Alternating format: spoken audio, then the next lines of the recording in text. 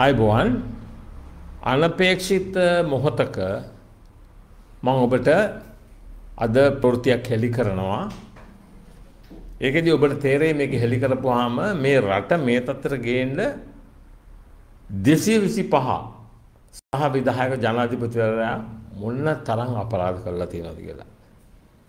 මේ කතා කරන්නේ ලිට්‍රෝ ගෑස් කේස් එක සම්බන්ධයෙන් ඔබ දන්න පරිභෝග කටයුතු අධිකාරියේ හිටපු අධ්‍යක්ෂකවරයා විදායක අධ්‍යක්ෂකවරයා ඔහු මෙය හෙළි කිරීම නිසා ඔහුට රටිනුත් යන්න වුණා.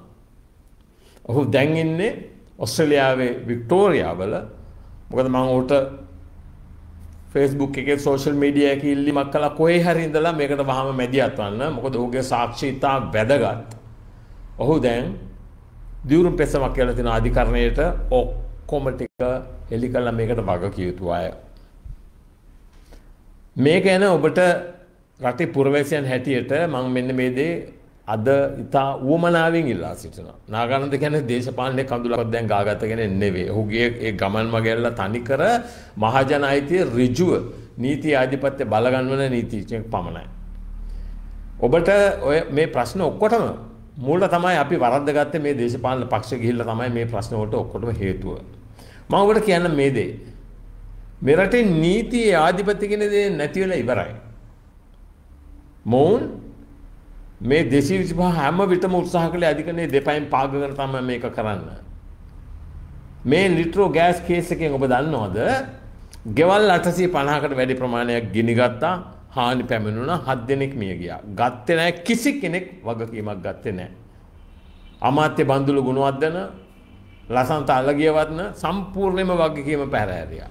දැන් අද මේක අධිකරණයේ ගොනු කරන ලියවිල්ලක් මට ඒක සම්පූර්ණ වාර්තා කියලා දෙන පිටු 10ක දියුරුම් පැසමක් කියලා තියෙනවා මොහු කවුද මේ තුෂාන් ගුණවර්ධන පරිභෝග කටයුතු අධිකාරිය ඔහු සම්පූර්ණයෙන්ම හෙළි කරනවා කොහොමද බන්දුල ගුණවර්ධන ඒ වගේම ලසන් තල්ල කියවන්න මොකද ඔහුට මරණ තර්ජනය කරලා රටින් පිට වෙන තැනට වැඩ කළේ කියලා. අපි කොහෙද මේ යන්නේ?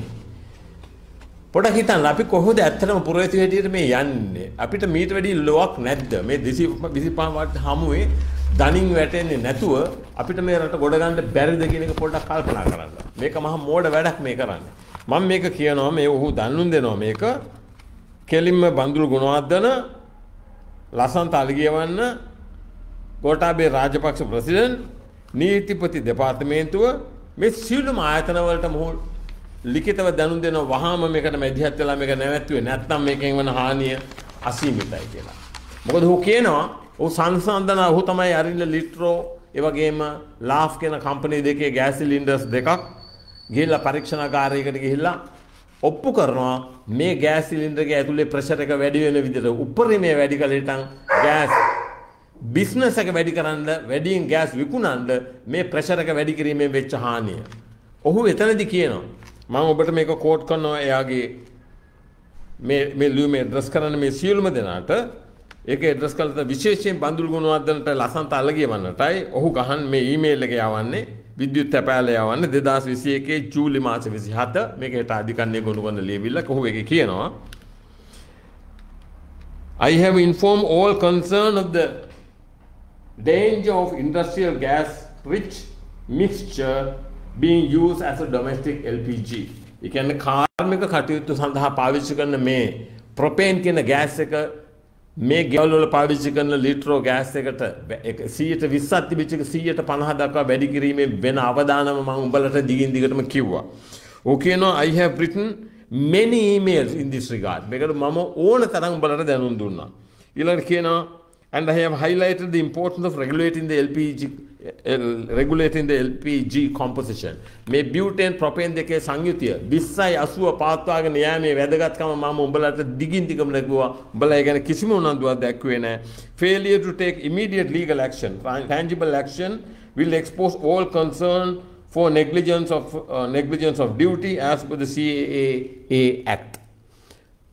සියලු දෙනාම රටේ නියාමන අධිකාරී පාරිභෝගික කටයුතු අධිකාරිය ඒ වගේම ඒ වගේම ප්‍රමිති කාර්යාංශය තමගේ වගකීම පැහැර හැරීමෙන් මේකෙන් රටට විශාල අගතියක් හානියක් වෙනවා. මෙයා කැලුම් දැනුම් දෙනවා මේ එකක්වත් ගෑස් සිලින්ඩර් පුපුරන්න ඉස්සෙල්ලා අප්‍රේල් මාසේ දෙදස් විසිය එකේ මොහු දැනුම් දෙනවා නමුත් මේ ගැන කිසි කෙනෙ පියවරක් ගත්ත නෑ. මේක තියෙනවා ලිපි දහ අටක් ඒවගේම අදාළ ලේඛන දහ අටක් මේක පෙන්න්නනා මේ අපරාධය නමුත් ඔහුට අන්තිමට අමාත්‍යවරු දෙන්නාගේ ඔහු කියනවා මේක දිවුරුම් පෙසමේ මට රටින් යන්ඩ සිද්ධ වනේ මගේ ජීවිත අවධානම නිසා. ඔන්න රටේ තත්ත්වේ. හැබැයි අපි මේ ඔක්කොම පැත්තකට දාලා මේ පල්හොරු දෙසි විසිපා පස්සේ යන තවමත්.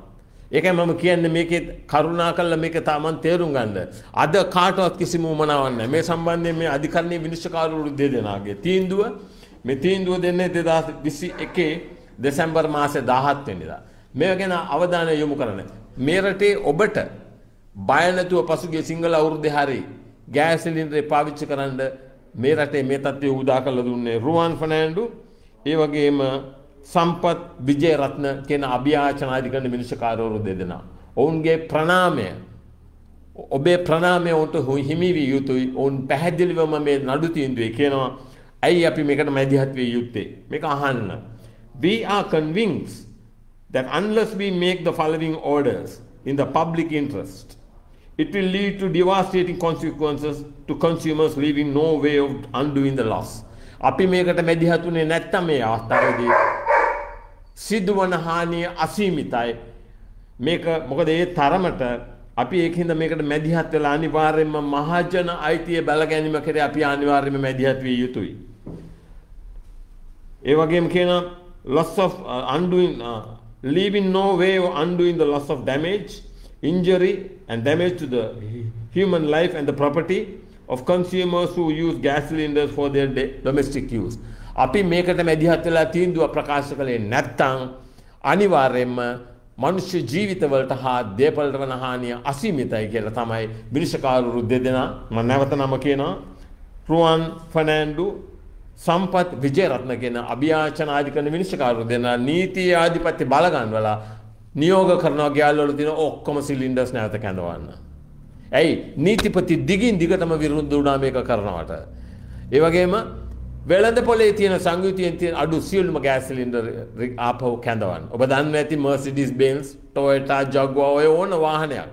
කාර්මික දෝෂයක් තිබොත් මැනිෆැක්චරින් ඩිෆෙක්ට් එකක් තිබොත් නිෂ්පාදනයේදී තිබිච්ච හානියක් තිබොත් වහාම කැඳවනවා. මෙච්චර ගෙවල් ගිනි ගන්නකොට ලංකාවේ නීතියේ ආධිපත්‍යයක් නැති නිසා කවුරුත් බැලුවේ නැහැ. හත් දෙනෙක් මෙය ගියා කවුරුත් බැලුවේ නැහැ. ඒක තමයි රටේ අද තත්ත්වය. 225 එකෙක් පාර්ලිමේන්තුවේ කට ඇරියේ නැහැ. කිසි කෙනෙක් ගෝඨාභය රාජපක්ෂ කියලා බදාගත්ත ලිට්‍රෝ චෙයාමන්. ඔබට මතක ඇති. මේවා මෙහෙම වෙන්නේ අපේ වැරද්ද නිසා. අපිට ගලව ගන්න බැරි විදියට අපි එක්ක පොහොට්ටුවේ එක්කෝ අපි ජාතික ජනබලවේගේ එම නැත්නම් සමගි ජනබලවේගේ මොකක් හරි එම නැත්නම් අනිත් එක මොනවද පොහොට්ටුව එක්සත් ජාතික පක්ෂේ. ඔය මොකක් හරි අපි කූඩැල්ල වගේ එල්ලිලා ඉන්නවා අපිට යන්න රටකුත් නැති තත්ත්වයට මේ මේ පල්හුරු ටික රට නැති කළා. මං ඔබට කිව්වේ මේකයි. මේ කිසි කෙනෙක් ওই බොරුවට කෑ ගහන කිසි කෙනෙක් මේ වෙනුවෙන් ඉදිරිපත් වුණේ නැහැ. ඔබ ඔබේ ගෞරවය හා ඔබේ ප්‍රණාමය පුද කරන්න ඕනි. ඒ විනිශ්චයකාරු දෙදෙනා නිර්භයව එඩිතරව රටේ නීතිය ආධිපත්‍ය බලගන්නලටන් ඒ දේ නොකළා නම් තවත් මේ හානිය දිගටම සිද්ධ වෙනවා.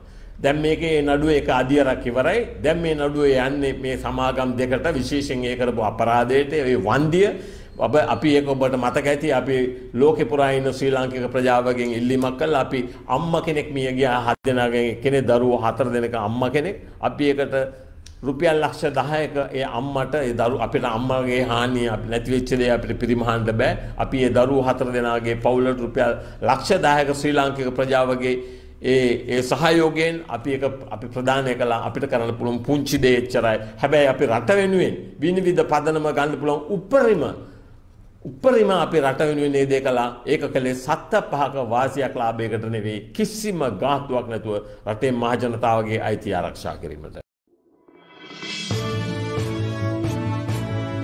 SL News Today ඇත්ත දැනගන්න සබස්ක්‍රයිබ් කරන්න.